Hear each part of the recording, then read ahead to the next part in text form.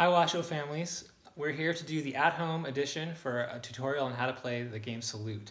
It's a math game to help you practice basic math facts. You can use addition or multiplications. You'll need a deck of cards and three people.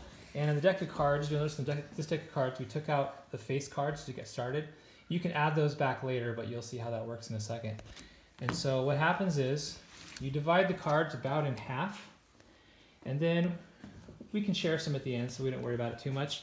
And then we have a caller, and we have two people playing each other. Here we have a third and fourth grader. And so when the caller says salute, Are we playing addition, kids, or multiplication?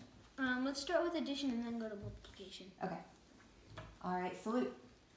they put the cards in their forehead so you can't see your own 15. card. Nine. And then the caller says, in this case, the sum of the two cards, and the first person to name the card on their own head wins those cards. Ten. Ten. No, no, gosh. Oh my, three. Yes. Oh my gosh. Oh, this is intense. Oh, sorry.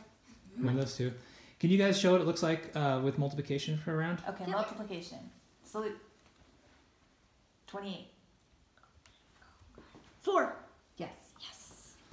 Oh, I forgot. All right, so you do that, and the person with the most cards, because they keep the cards you win at, the end, wins.